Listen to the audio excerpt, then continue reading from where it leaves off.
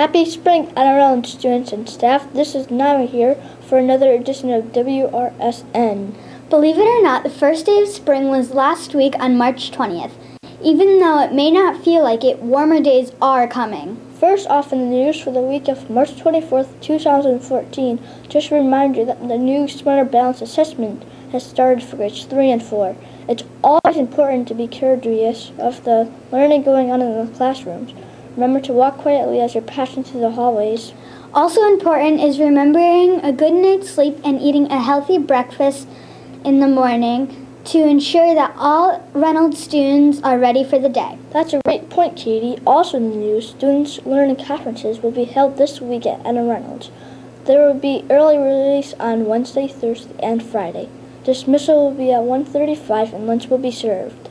Speaking of lunch, Lunch Pals for grade 4 will be meeting with Dr. Vazone today. Students are nominated by their teachers for being bucket fillers or contributing links to our chain of kindness.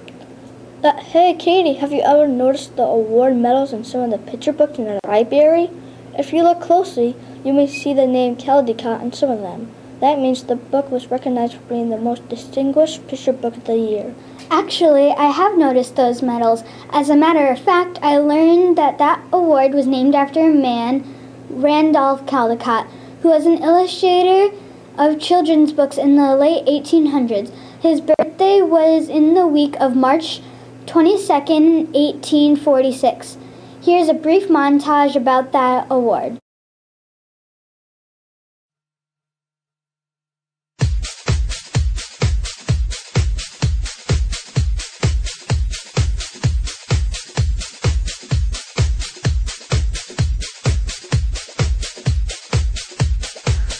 Hi, we are here to tell you about the Caldecott Book Award. The award started in 1938. Each year, a group of librarians choose the greatest American picture book. The books they choose have to be appropriate for a child audience. The first book they chose was a picture book called Animals of the Bible. If you want to check out any of these books, Check check out out your local library.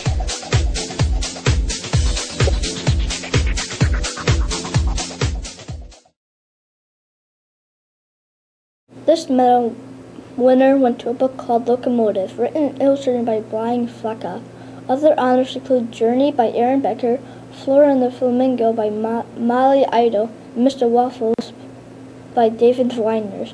Check out Media Center and your classroom libraries for the past Caldecott Award winners. Last up in the news, there will be a mother son sports night this Friday.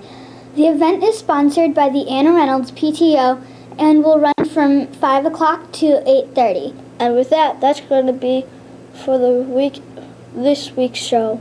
Have a great week, everyone, and remember to follow the ABCs of Reynolds Respect. A is for always do your best. D is for be respectful and be safe. C is care for yourself and others. Bye.